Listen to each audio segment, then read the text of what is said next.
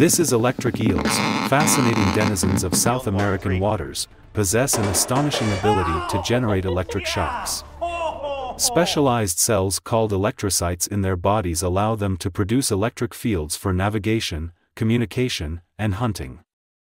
Interestingly, these shocks can reach voltages of up to 600 volts and are used both defensively and offensively. Electric eels can stun or immobilize their prey, which includes fish and invertebrates, and they can even deliver a powerful shock to deter predators or perceived threats. Beyond their electrifying abilities, electric eels are air breathers, needing to surface regularly to breathe.